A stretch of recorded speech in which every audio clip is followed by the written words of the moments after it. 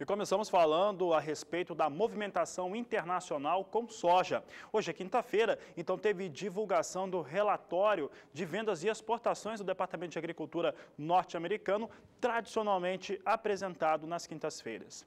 Para a temporada 2016-2017, teve pouco mais de 300 mil toneladas de movimento, mas que mostra um volume muito mais forte total de vendas de exportação na safra 16-17 do que aquilo que é a meta de exportação determinada pelo próprio Departamento de Agricultura norte-americano. Vamos aos números, porque os norte-americanos já venderam bem mais do que a meta. A venda semanal foi de 303.368 toneladas de soja para a safra 16-17, 60 milhões 660 mil toneladas da oleaginosa. Então aqui vendendo bastante, mais de 60 milhões e 500 mil toneladas, 60 milhões e 660 mil. Isso deixa e muito para trás a meta de exportação. Veja só os dados do Departamento de Agricultura norte-americano. As vendas, como você já viu, alcançaram 60 milhões e 660 mil toneladas, meta de exportação 57 milhões 150 mil toneladas. Aí tem uma certa dúvida, será que os Estados Unidos conseguem mesmo